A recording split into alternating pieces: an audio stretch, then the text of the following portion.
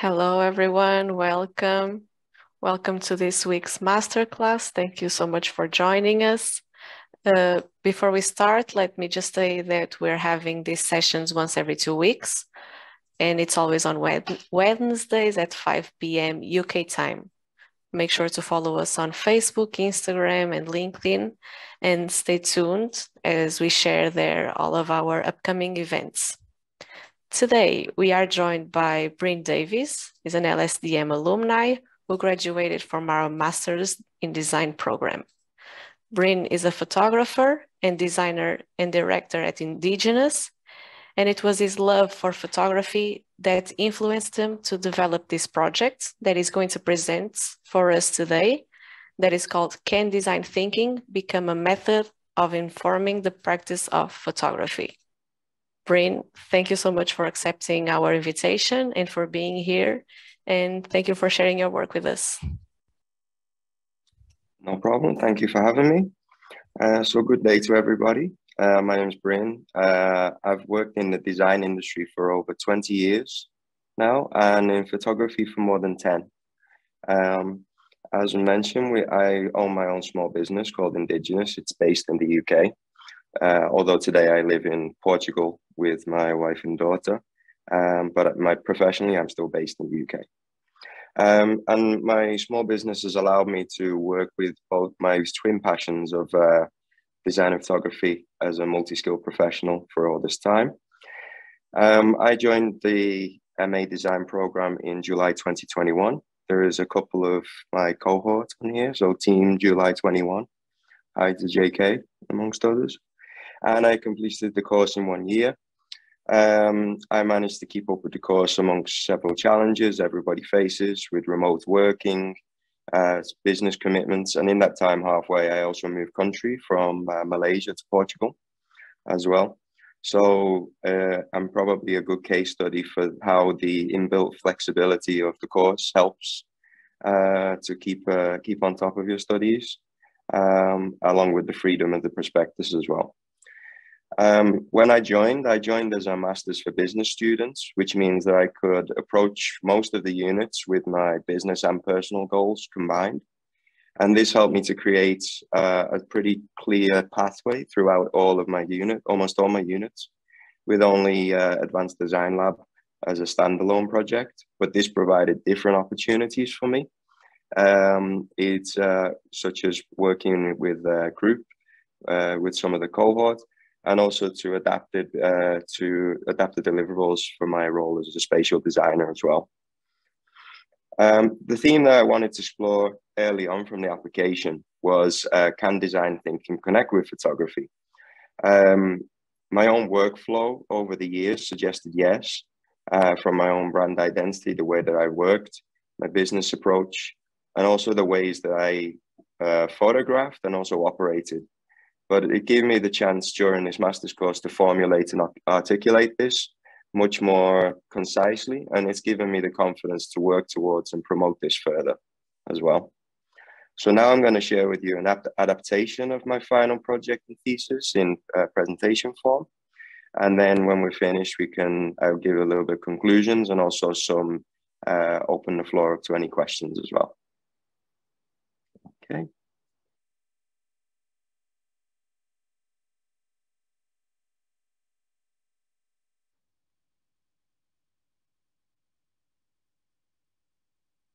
So can everybody see the screen? Yes, we can see it. Great, thank you. So design is what Nigel Cross calls the third way, or a synthesis of art and science. And by extension, design thinking is regarded as the human-centered approach to creative problem solving. Now, photography does aid design thinking in visual research and documentation, but the question I came up with is can design thinking be of equal value to photography as well? And this first came to mind back in 2015 when I con contributed a photo essay to the Look 15 Festival. This is based in Liverpool, it's an uh, uh, biennial photo festival. And during which I also gave two event talks, the Perfect Photography Project and Ethics of Portrait Photography. Now, while other speakers would recite their bi- biographies and portfolios in an artist context, I would often talk about word clouds, decision trees, and toolkits. In short, I thought like a designer rather than as an artist. And it was later on in the festival blog where I proposed assessing work against the brief or the conditions it was made, as you would see in other creative sectors, rather than subjective opinions on ethics and truth, which underpins much of photography's contextual theory. Overall, I've never aligned with the, the compartmentalization of photography, contemporary photography as it is, where artists don't where, tend to hide their professional practice, where professionals don't necessarily have uh, the contextual background, and so on and so forth. I consider all these factors to be interdependent, uh, thinking of it much more from a, cre- a, design creative perspective. And my bachelor's studies in photography, which I completed in 2020, reinforced that opinion along as well. So that gave me a starting point for how I wanted to approach this master's course that I took. And it was through the culmination of that that I came to these aims and objectives to argue the case of uh, design thinking as a, as a way of informing pr- contemporary practice, to intersect design thinking principles and, and tasks, activities with existing photography uh, approaches, to present my own case study, which I undertook during the course, and to introduce a new analogy in which we can analyze photography projects in a lateral manner as well. So when I was preparing the literature review, I came across a few important things. It allowed me to, first of all, consolidate my own academic knowledge in photography debates um, and compare this with design thinking theory. It also gave me the opportunity to differentiate art and scientific thinking from design, uh, reinforcing what uh, Cross calls as the third way and it informed the terms of formal observation methods in academic research as well. However, there was very little written on photography in design thinking. And this, to my knowledge, was at the time of writing the first academic project that investigates design thinking in photography itself. So for me, the takeaways included that several theorists position photography as art or technology, uh, usually with a bias towards one or the other, rather than as a third way. The impact of the digital image and the democratization of technology, which actually is something that reinforces over photography history. Um, that there's particular key points in history where the consumer base has um, threatened the, the feeling of photographer as professional or technic or as technician. Projects are also more autonomous and self-directed through the democratization of technology, where people are also depending less on qualifying bodies, mentoring, and oversight. There's not a industry, um, let's say in, in legal terms, like the bar to pass with a few professional exams, which is mandatory to actually practice photography in professional contexts. And then also the photography needs new tools to research, develop, and assess in order to create new informative ways of seeing as well.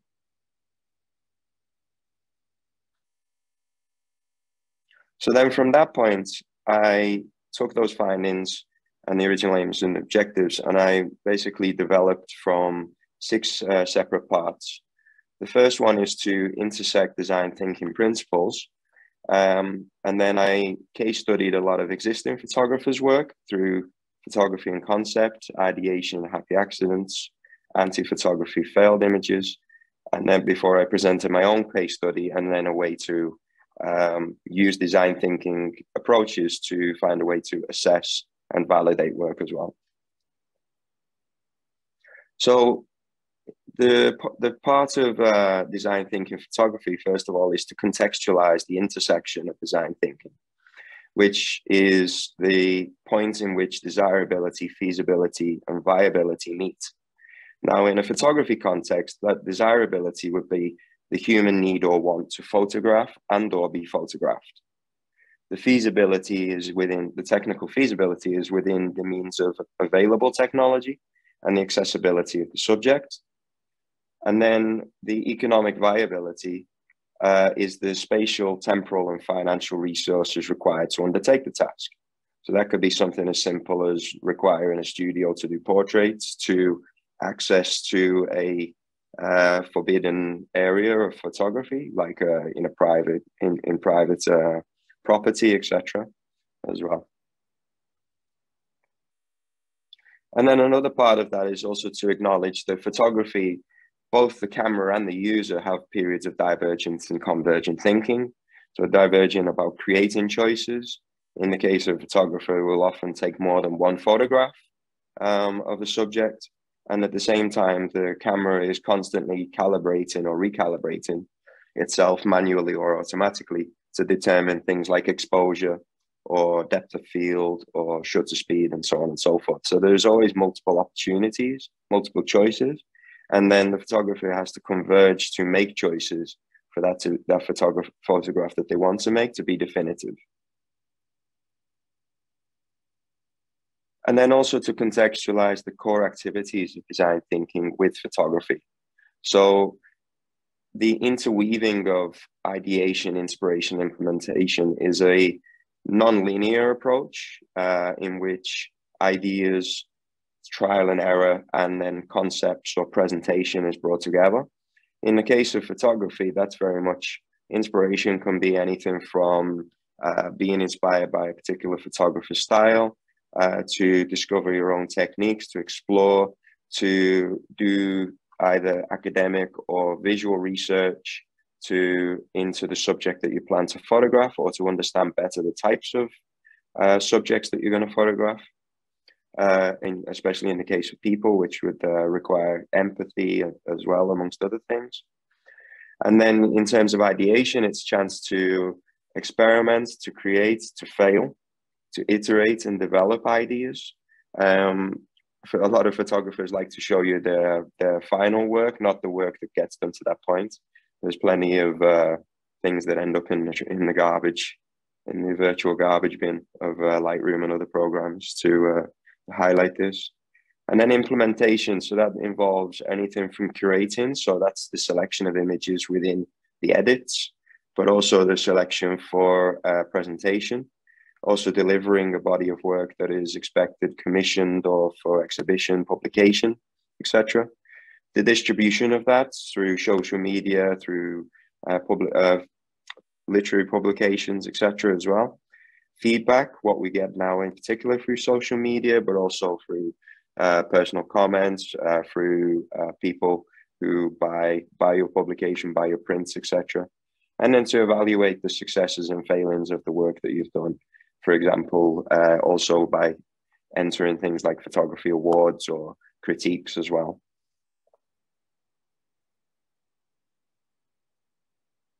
And so then once understanding all the different uh, design thinking principles, the core principles of design thinking in a photography context, the next step was really for me to look at existing work and to see how that actually um, can be identified in in some of the things. So the first one I looked at was photography and concept.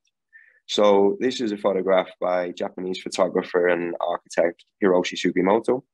It's um, part of one of his most famous series called Seascapes, where he divides the, the screen, the sea and the sky in a 50-50 division.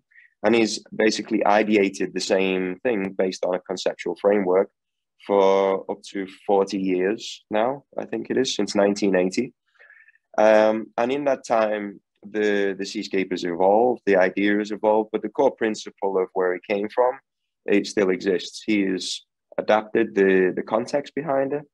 Um, and in particular, when he's photographed things that don't fit, fit his conceptual framework, he's then come back to this later on uh, after a period of incubation in his archive, and then simply done things like, in the case of this one, this is uh, a later series of his called Revolution, uh, where he simply crops and rotates 90 degrees with a new context, conceptual context behind it. Um, some other of his projects could also um, involve things like photographing architecture out of focus, or as he calls it, twice infinity. And of course, in, art- in the artistic context, sometimes the language is a little bit more pretentious than uh, the practicalities of design. But it's very much uh, a, an element of challenging conventions of what you would expect in the case of here a seascape or a landscape image to transform it in a different way of seeing, um, which is relative to his conceptual framework.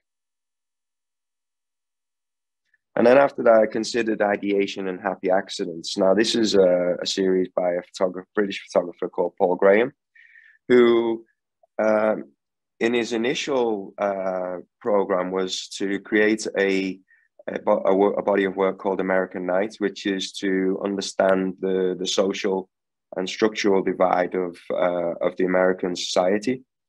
And it was through the accidents, accidental overexposure of one of his images that he actually found the aesthetic to communicate, um, in this case, uh, this body of work, um, people who are living on the periphery of society and are, are technically blinded from society. So he is actually politicizing exposure control of the camera um, to to inform his aesthetic, and that comes from happy accidents or you know accidental failure uh, within that. And then from there, that actually juxtaposed with the second part of his series, which is the picture perfect middle class suburban America. So, and, and a third series of that uh, was on underexposed, dark exposed of the urban interiors as well. So, this is a way where ideating different visual techniques um, gives you an opportunity to create visual styles to contrast within a body of work and also to embrace the fact that mistakes can actually lead to insightful moments that you can uh, create bodies of work from technically failed picture perfect images when the context of the message is uh, relevant to it. And then likewise here, where having moved from accidents involving into strategy, there's the deliberate failure or inverting the status quo of certain works. In this in this case of uh, German photographer Uta Barth, she uh, continually does a lot of work with um, diptychs and triptychs, where she does the um, the negative version of the same image that she took uh, in side by side and juxtaposition, and the the the goal within that is a part of it at least is to embrace the fact that the, the originality of photography and um, in film form is that the negative is transformed into the positive image that we see. But actually, the negative image can also have a contextual value if it's relevant to the subject and, and uh, is regarded as a technically failed image at the same time. Similarly, here with also with German photographer um, Thomas Bachler. And in the case of this, uh, again, embracing the anti photography and failed images, uh, uh, approach here. Now, failed images is defined by a guy called Ernst van Alphen as when a photograph is no longer a snapshot or the picture perfect image that your smartphone would make or the automated process within your camera will aim for if you're not shooting manually. Now, within that, fail, a failed image can be anything from uh, overexposure, underexposure, out of focus, uh, blurry when it was unintended. But it can also be in the case of uh, also embracing anti-photography, where you invent your own techniques and tools. In this case, what he does is he um, converted a, a, transit van into a pinhole camera um, to redefine the, the concept of not only the travel image, uh, because he takes the car on a journey and this is the abstraction of the road trip, um, but also that it becomes a an abstraction of vanishing point, which is um, uh, in the end a man-made uh, visual identity endeavor as well. And then continuing with the theme, uh, we also have uh, the case here of uh, American artist Meghann Riepenhoff, where she uh, uses photogenic paper to to chart tidal patterns in her local area. And then where that comes into play in design thinking context is that it's a way of visualizing data through photography. So in this case, she's actually uh, visualized through both photogenic photographic image and also the collage uh, presentation, uh, a way of visualizing uh, scientific data as well. And part, all part of anti-photography and failed images is very much about testing rules and breaking rules. in this case with Japanese photographer Daido Moriyama, the whole uh, uh, method here is that the the, the of the the feeling of anti-photography is that photography is basically um, rebelled against as a form of rebellion to the message that the that, that, that is being proposed at this time. So Daido Moriyama is part of uh, what was known in Japan as the the provoke movement in the late late 60s, early 70s, which was very much against the demodernization, the modernization and westernization of Japan Japanese culture. And in this case, uh, Daido Moriyama's uh, seminal work, Bye Bye Photography, is all about pushing and pushing against photography to the very limits. And this is very important because on the one hand, uh, we when we talk about photography needing, uh, like with design thinking, needing rules to play without it descending into anarchy, as Tim Brown says. We also have to acknowledge that legibility doesn't always mean does not always uh, stand for communication. As David Carson says, just because something is legible doesn't mean it communicates the, the right message.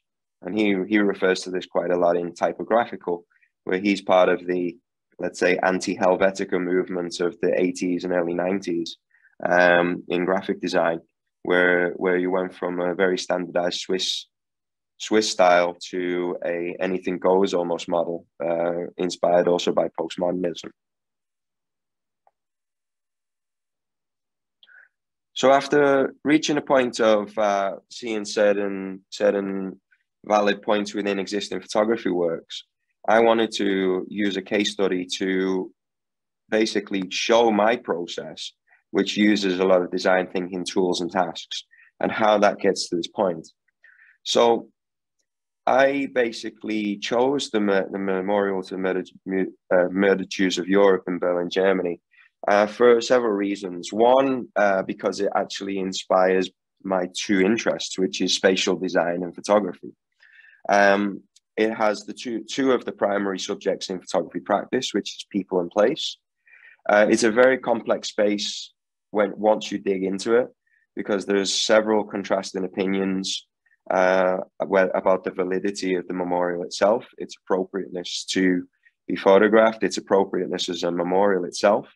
It's regarded as a counter monument in um, in modern sculptural speak, um, which is something that goes from being a, a, place of commemoration to a place of experience, um, which which is part of the in, inform the part that informs my photography practice is that you're experiencing it through photography. Now, it also in, in, you know raises important factors as well, in the sense that from a professional point of view, I wanted to to approach this in a very professional manner, but also recognizing that this is not a commercial project, um, that it would be insensitive and unethical to to see it as a, a project that can be commodified at the same time. But it still required best practice to request official consent and to formalize that. And that I did through the, uh, the Stiftung, which is the, the, the, the memorial's um, uh, foundation uh, with uh, official access so that everybody was aware of what I was doing with my intent and I kept them up to date throughout the whole process. Um, and it also gave me an opportunity to uh, extensively review the memorial itself before I photographed it.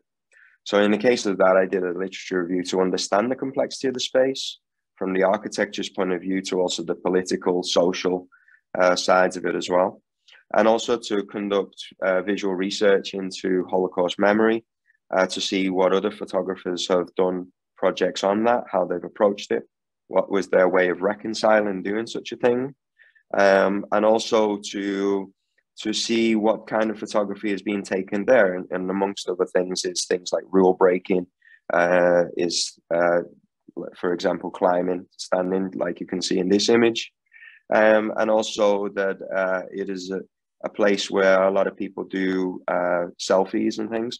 And this is uh, actually being uh, satira, sat being made into a satirical thing with a German uh, comedian who actually made a website on people uh, doing uh, doing their selfies and then juxtaposing that with what he considered the insensitivity of doing of uh, posing and doing yoga poses or juggling and things like that.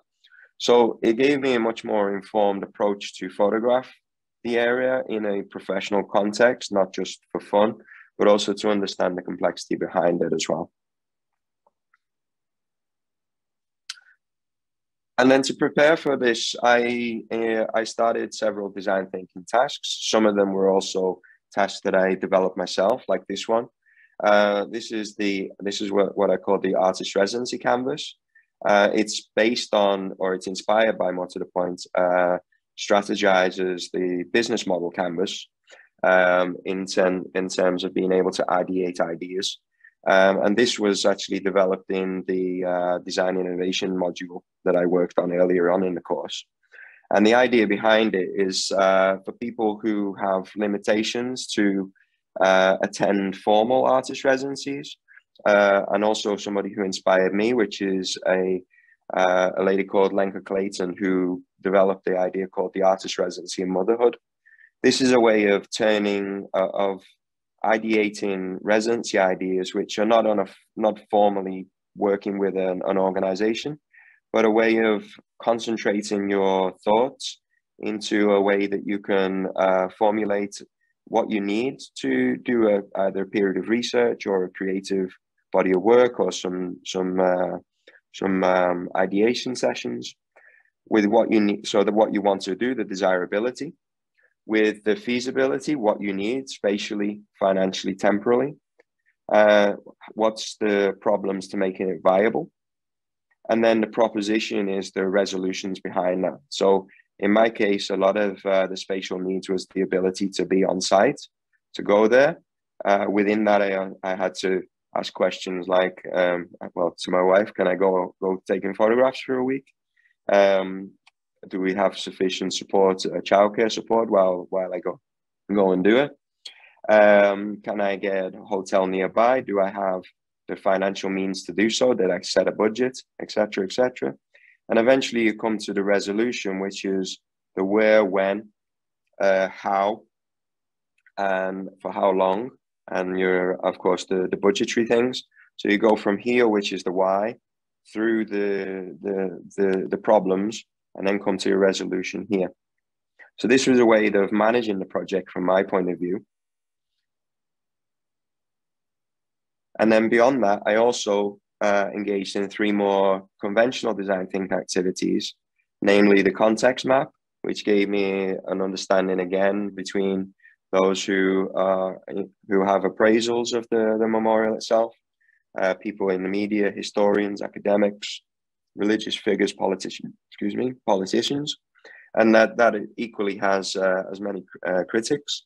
And then the people that I would largely be direct, uh, working with is design. I actually uh, got some some responses from Eisenman architects who designed the space uh, during the research phase, uh, together with operations such as the securities, and then on top of that also the public and visitors, which I would not be able to uh, account for, but they will be there at certain times of the project as well. And then I also created a mind map so I could start to think about uh, how to organize what I wanted to photograph. Right.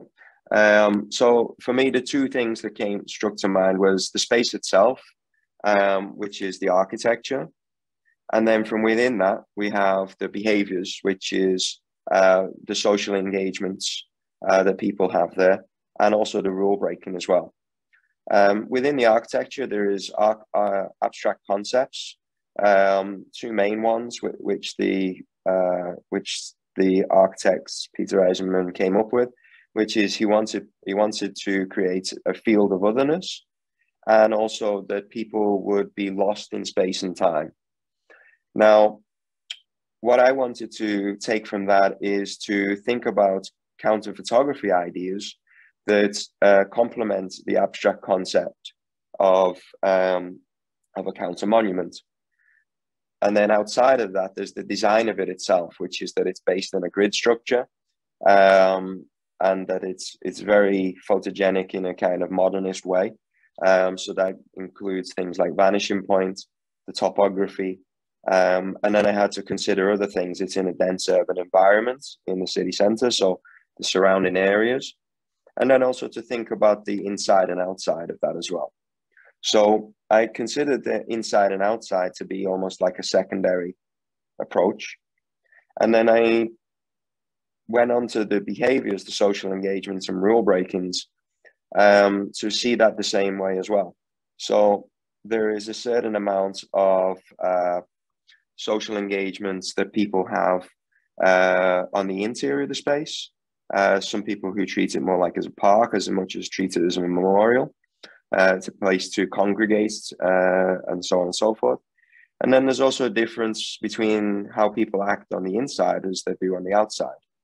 So that also involves uh, things like rule breaking. So understanding what the rules and regulations were, that was also part of uh, engaging with the memorial space before I actually went there to know the rules. Um, and from my own point of view as a photographer, not to contrive or provoke bad behavior, but also to recognize if it is there as well. And again, it gave me that point to consider inside and outside. So already I had created two different approaches the architecture and then the social, so that's people in place. And then I'd already considered that there's two different approaches for each one on the inside and outside. And then finally, I also developed a, a mood board of ideas. I photograph mostly in black and white, uh, particularly for any research or commercial projects, fine art projects, etc. Um, I'm only photographing in color when requested, so I regarded uh, black and white as a starting point in this. And then from there, I went in. I went once I was on site. I was able to take a divergent approach just to familiarize myself again with the space. So it was six years since I was there previously. Um, and then it gave me also free free play to ideate different visual techniques um, and, and gain knowledge of the various routines and habits, along with different things like light patterns and things like that as well. And this carried on for the first couple of days until I could understand various ideas uh, behind that.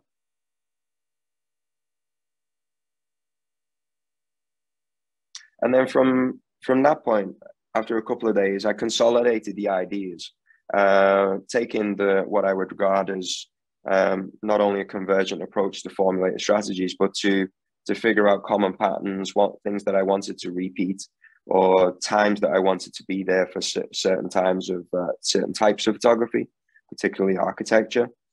Um, and then from there, I was able to um, formulate the the technical choices that I was making. I was uh, together with the visual style, so that I was setting myself up or calibrating myself for each uh, session that I could produce bodies of work for each in the remaining three days. And then on top of that, I also came to this point where I was understanding the observation methods um, and the kind of ver various levels of uh, observation methods that I was taking within that. So anything from the user control to the image value to the level of organization, you can see uh, that I created like a yeah, more like a, a, a table uh, to to, to show the differentiation between the different approaches as well and that was uh, that then became my kind of working document for the remainder of the time when I was photographing. Now, at the end of production, I considered the need for a new design thinking tool to assess the observation methods. Now, in general, photography is a medium that is directed by parameters. If we take um, subjectivity out of the equation and think of it on a technical level, um, from exposure control to tonal range and even post processing. But unlike um, competitive analogies like, say, top trumps, I wanted something that would be parameter based but not competitive. And I came back to an analogy which I first considered and actually proposed in the aftermath of the Look Festival in 2015 um, about how photographer can calibrate approaches for different needs. And as a result, I actually came up with uh, the graph the analogy of the graphic equalizer. Um, and the reason for that is it establishes a lateral value between opposing research methods and also approaches uh, to visual styles and things like that as well. So, for example, if uh, if somebody who is aesthetically driven is is likely to bring this slide this way, does it still have an informative context, or is it just um, eye candy, for one of a better way of putting it? Um, and of course, what you're looking for here is something in the middle, so that you're not leaning too one too far one way or the other. And of course, that depends on the type of image that you're making and the type of and the context that you're trying to communicate. Um, and it's also about the kind of organizational me methods, how, how engaged you are with the subject. Are you participatory or are you observing? And an important part of this being a, a of lateral value uh, for me is um, referring again to uh, Ed De Bono's work on lateral thinking, is that one one versus the other is not regarded as superior. So if we think about agency being the photographer having total control over the camera, if the context requires automation, then that is the best context for that is the best approach for the context that you're photographing. It's not that this one is inferior because it's relying on technology. It's just if it's the most if it's the most optimal way of getting the visual communication that you want to create. Aside from that, what this actually also provides me with is an opportunity to visualize um, feedback as well um, and the communicative value of photography. So it's almost an image within an image, uh, how you evaluate photography this way. And you can use it to evaluate uh, against viewers' opinion as well and judge that against, in my case, what I created earlier, the visual strategies. And to do this, what I did was I uh, conducted a survey to test it with the case study itself. And here are the results for each one. So in the case of the architecture outside, I did take inspiration from uh, the previously mentioned Hiroshi, Hiroshi Sugimoto.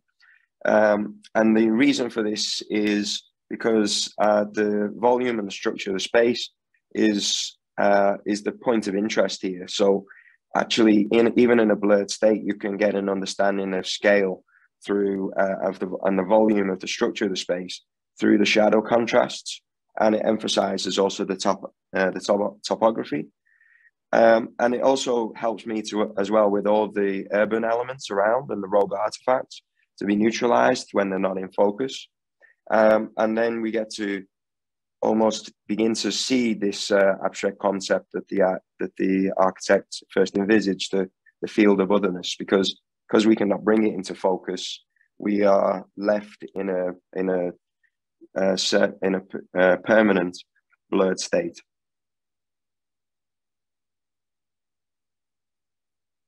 And then contrasting that with how I approach the architecture on the inside um, now, as, as I mentioned earlier, the space is organized in a grid plan. Now, observing from a low point looking up, um, you can identify that um, within this structured uh, uh, system of columns, uh, each column is actually has an individuality to it. Uh, they they uh, oscillate in terms of size, scale, even um, angle of angle of insertion. And using this style, this uh, visual technique allowed me to create a photography survey, much like um, popular, popularized in the 1920s through people like Karl Blossfeldt and August Sander, creating a systematic approach to photographing this exact same aesthetic. But by doing so, you actually get to see that they become almost a portrait of individual aisles within the, the uh, within the memorial itself and uh, highlighting the the that within a, a volume of uh, structures, the individuality remains present as well.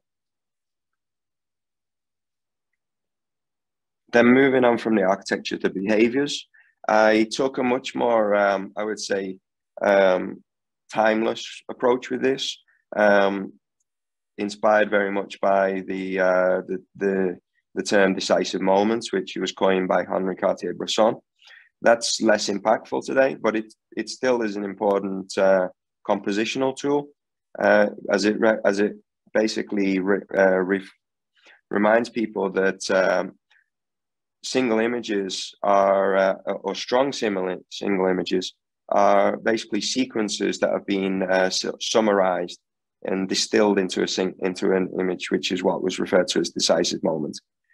From this point, I'm quite detached, um, very much staying out of the way of people, um, and trying to avoid any performative reactions of visitors. So, trying to be relatively incognito as to not um, not not to uh, contrive any behaviors uh, along the way but at the same time recognizing if there was any bad behaviors and the wider portfolio of work there was of course people climbing and jumping between uh, different columns along the way but as the one security guard reflected to me about the the memorial is the interactions of it are a reflection of society and therefore and as society is flawed their behaviors themselves are not perfect so you cannot let's say you, you would be guilty of whitewashing if you didn't recognize them but of course you're not there to uh, promote them as well. To contrast that with the inside, I took a much more engaged approach.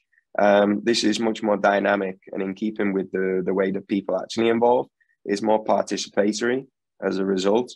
Um, and to achieve that way, um, is much less organized approach, um, photographing more off, off the hip and zone focusing, um, foregoing control of the camera to be more inclusive with people who are walking around and spontaneously capturing moments such as this. And this is a, a way of engaging in a kind of role play um, uh, in which the, the, the, the body of work that you're creating is the kind of images that the people are experiencing whilst they are actually walking around as well.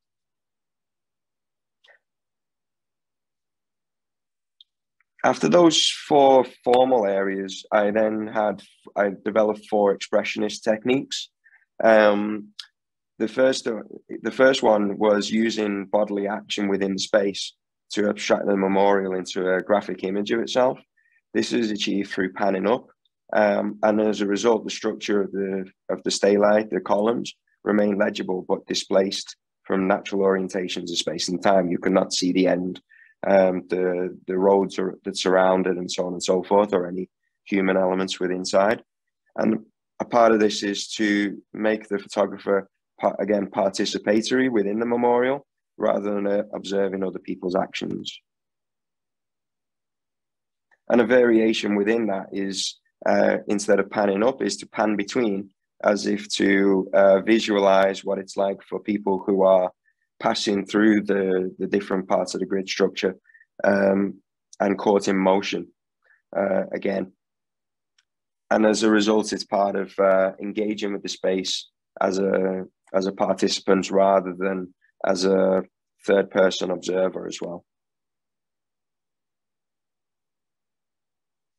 Then in expression C, this actually takes reference from um, the earlier mentioned Thomas Bachler's experience with Bon Voyage.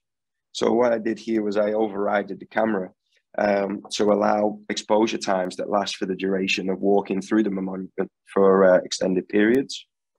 And the resulting abstractions reduce it to a representation of vanishing point, where you can see the overlapping attempts for, uh, for the image to draw itself, uh, create this very, uh, very abstract, um, again, anti-photography or counter-photography uh, approach to a counter monument.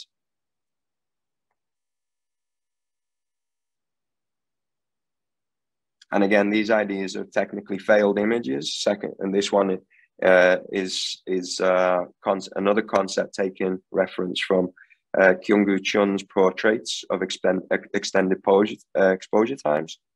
So again, over overriding the camera, the shutters open while hand while holding the camera handheld, um, for up to a minute or two minutes. And as a result, you get this kind, again, you get this out of focus, but for different intentions. So again, it's with uh, uh, the intention of being again lost in space and time and the, the, the clarity of image that dissipates through um, through be, standing still, doing nothing, and and transforming it into a field of otherness as well.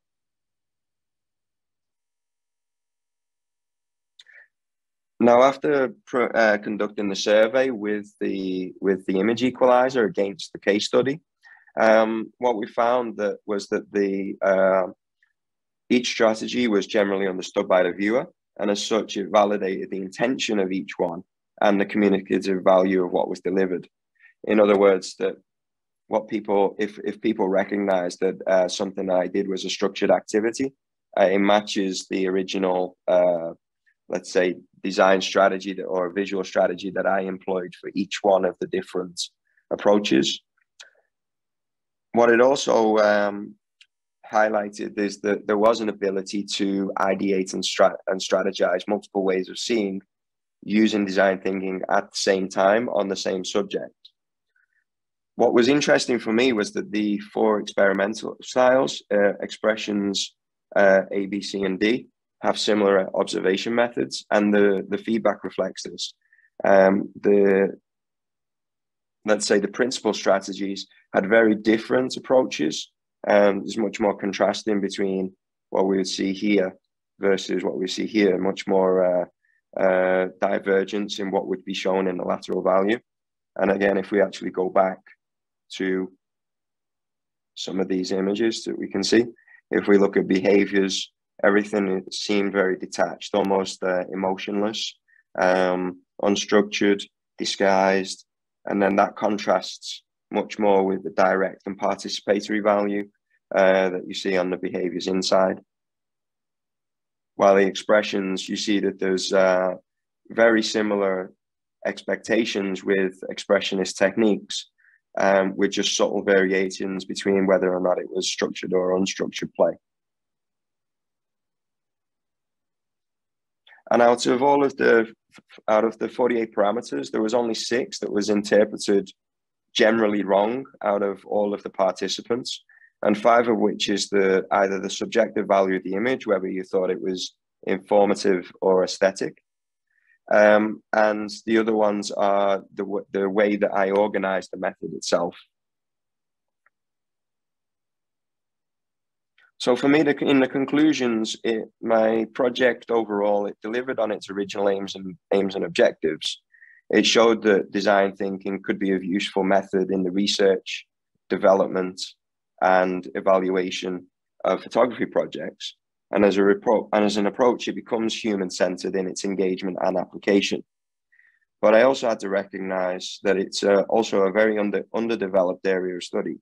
It's so therefore there are uh, limitations, not least partially because it's um, certainly in the case study it's self-qualifying um, and it's very much validating my own approach to photography all these years.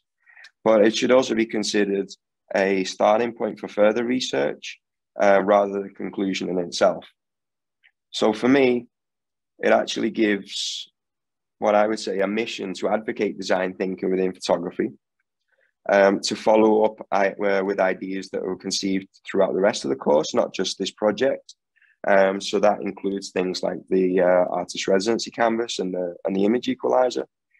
Um, to encourage and assist in practice-based use of design thinking in photography, to keep uh, to keep testing the equalizer with new bodies of work that I might develop, um, and also to initiate further studies such as in the use of process models um, like the double diamond, for instance, and see if there's any correlation with process models that we see in design and other design thinking tools.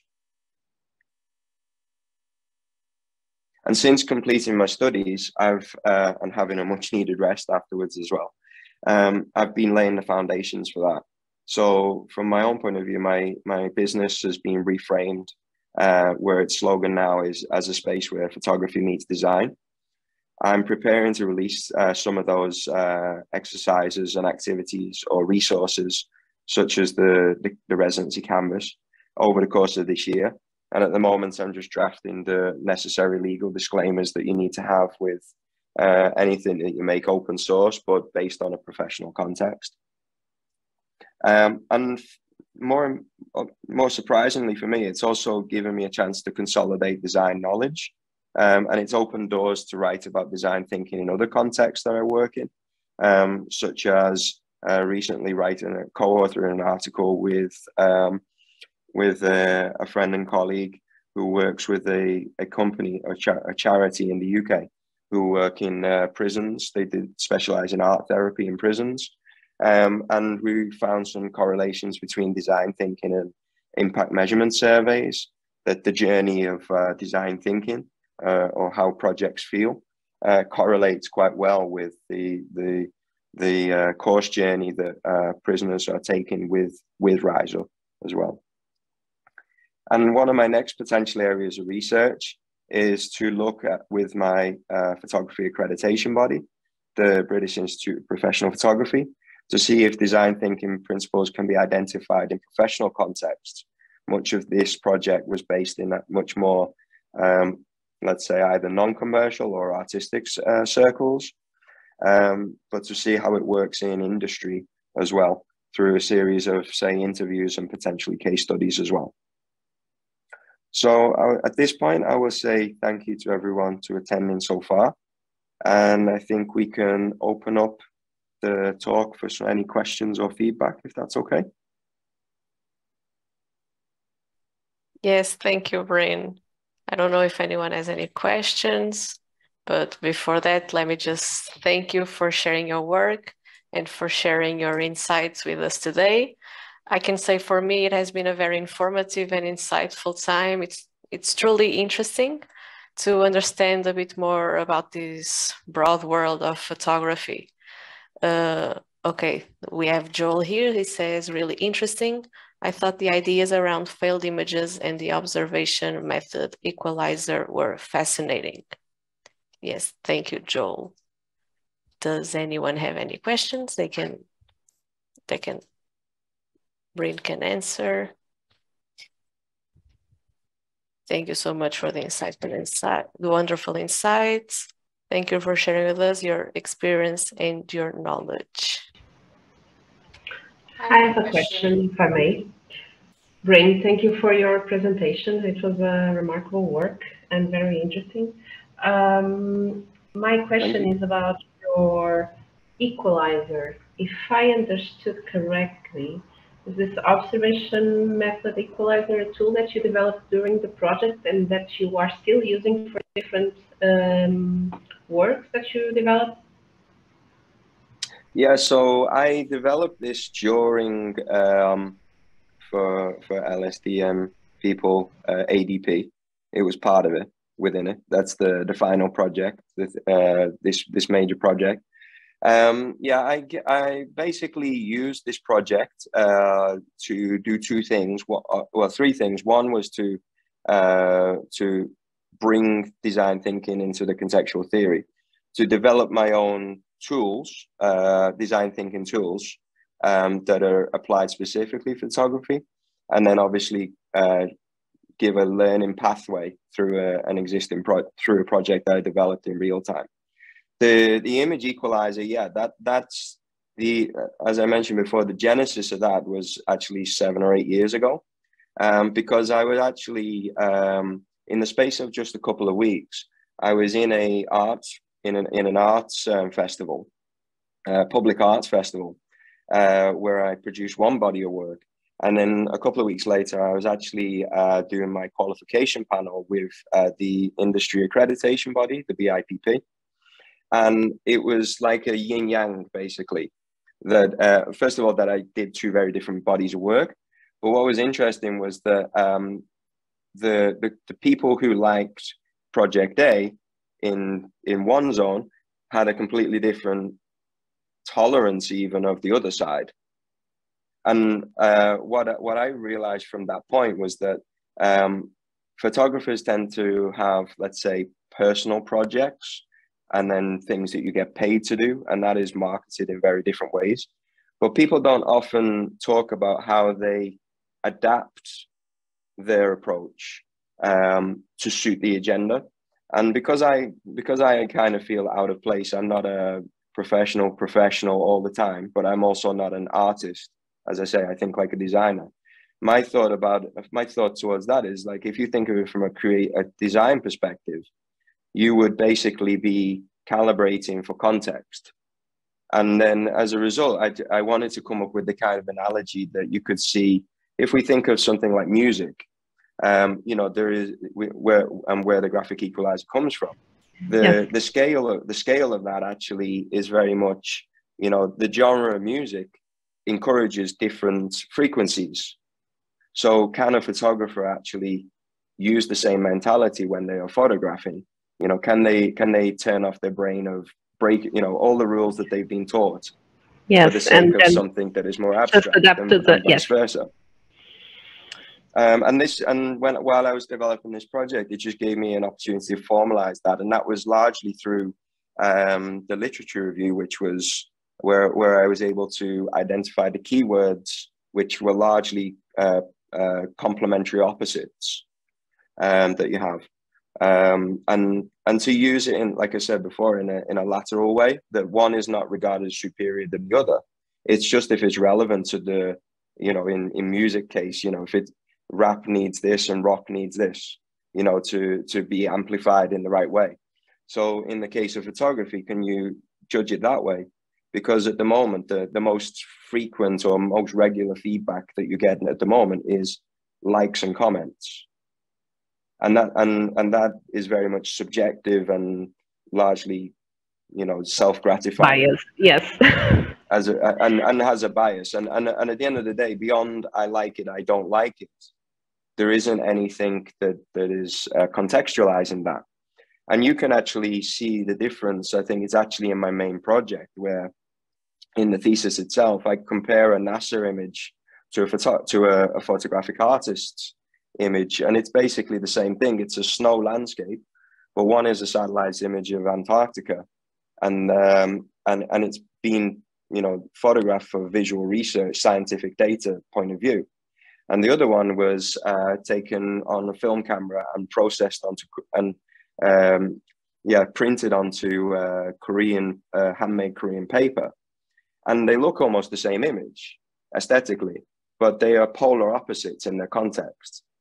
So if you can get past whether or not you like the image and what was it designed for and what was its purpose and what was the level, level of engagement, you can critique the image in a more uh, not so much uh, you can allow subjectivity but then you get this consensus of what is what is the frequency that the image is communicating. Because behind photography itself is it's a method of visual communication just so much as as graphic design or illustration is or something like that as well okay thank you i don't know if someone has more if there is someone with questions shania I don't think that we have any more questions in the chat. I was going to to read the message that Laura left us in the chat for Samir, but I think Samir left. Oh, so. Samir is becoming a student. Also, Bryn, I have one more question, but I, I think the answer needs to be very quick because we're almost finishing, so it's almost six. No problem. Just the final question. It was regarding the research that you did because uh, you had to do some um, research, and there's not a lot of papers talking about design thinking and photography and the intersection of that. Was it was this a challenge for you? How did you tackle this? Yeah, so uh, it was the opposite of research in the memorial, which has hundreds of people telling you that it's the best thing ever or it's it's a crime against humanity or and then everything in between um yeah the, i think the thing the thing that i uh, had to approach it with was um to to obviously give the pro the the the appraisals and the critiques of design thinking um was the first part so what is it so what what are we trying to connect photography to um to highlight the very little uh, connection between design thinking and photography. Uh, there was only one paper I found, and it was about visualizing food. Um, I think it was. Um, but then it was a it was a chance to also again find some commonalities between um, academic visual research, how people work with our art and scientific research, um, and then and then finally bringing that together with uh, the fact that a lot of people in the photography debates now are also getting tired of the debate. Uh, you know, there was a quite a common theme that people are tired of talking about representation. Uh, that uh, how how the medium now is much more accessible to everybody, Uh, and finally, that uh, we need you know, we we've moved past the, the the the century of the technical photographer, and now we're in the century of the image, which is includes photography, but it's not only photography. So giving people the tools to to to deal with that. People were asking the questions, but there was no answers. So then that helped me to finish the research and say, well, this is how I do it at least. If there's more, um, if or if anyone wants to develop the discussion further, I'm obviously I'm here. Um, but that that was for me the starting point. Um, it's it's uh, exciting but daunting when there's no research there, of course. So you're kind of the pioneer rather than the the, the add, adding to an existing discussion. Okay, thank you.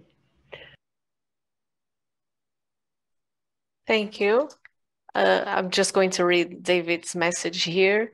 It always amazes me, whatever the subject, there's a way of thinking or explaining a process and pathway to an end creation, and very interlinked to all kinds of projects. Thank you, David. So if there are no more questions for Bryn, uh, I think we can end this masterclass here. I want to thank you, Bryn, once again for accepting our invitation to be here as a speaker. And to our guests and participants, I want to thank you all for being here and for joining us. I hope you have a, a rest of a great day and I hope to see you next time. Thank you so much for having me. Thank you for everyone for attending and uh, appreciate all the positive feedback as well. Thank you. Thanks, Thanks Bryn. Have a great day.